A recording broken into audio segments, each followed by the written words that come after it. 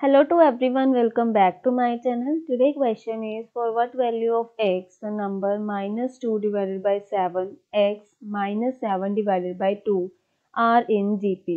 तो ये जो तीन नंबर्स हैं वो एक GP में हैं GP का मतलब जो इनके बिटवीन रेशियो होगी वो क्या होगी कॉमन मतलब सेम तो फ़र्स्ट टर्म हमारे पास है minus two upon seven second term is X and the third term is minus seven upon two तो कॉमन रेशियो हमने निकालनी है।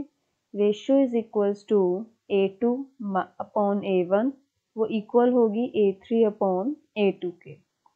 ए टू गिवन है X upon A one is minus two upon seven equal to A three is minus seven upon two divided by A two is X cross multiply कर देंगे।